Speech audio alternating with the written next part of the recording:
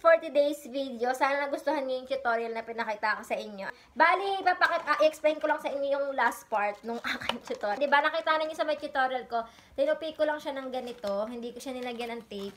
Pero nasa sa inyo naman yan kung gusto niyo lagyan ng tape o ayaw ninyo o gusto niyo gupitin tong part na yan o yan, nasa inyo yan, optional yan. Pero actually, mas bet ko lang din talaga kasi yung ganito. Kasi parang mas nagagandahan ako, mas nasusosyalan ako, ganun. Pag yung bukas mo, hindi siya nakatape, ganun. mas nasusosyalan lang ako. Bali, ang size ng box na to is, ano, 9 by 12 cm.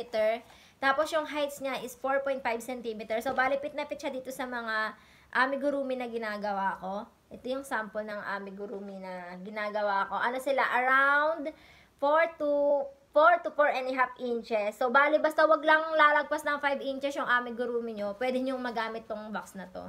Yan, napakasimple lang niyang gawin. Is A4 size lang na cardboard. Pwede rin cartolina, 'di ba?